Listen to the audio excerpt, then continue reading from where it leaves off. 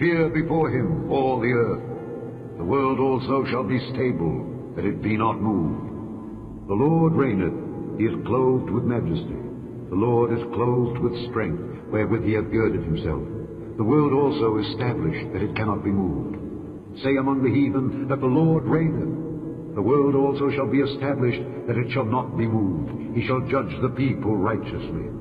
Who laid the foundations of the earth, that it should not be removed forever.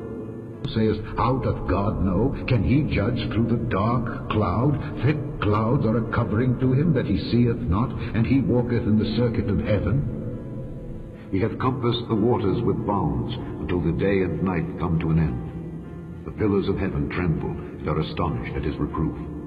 It is turned as clay to the seal, and they stand as a garment.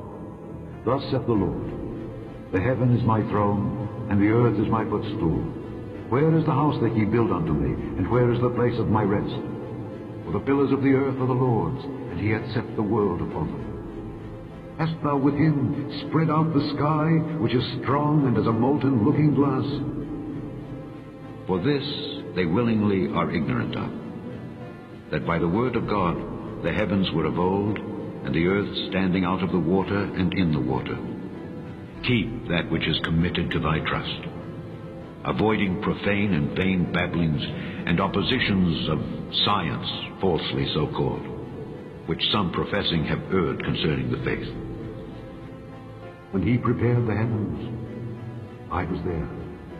When he set a compass upon the face of the depth, when he established the clouds above, when he strengthened the fountains of the deep, when he gave to the sea his decree that the waters should not pass his commandment, when he appointed the foundations of the earth, then I was by him, as one brought up with him.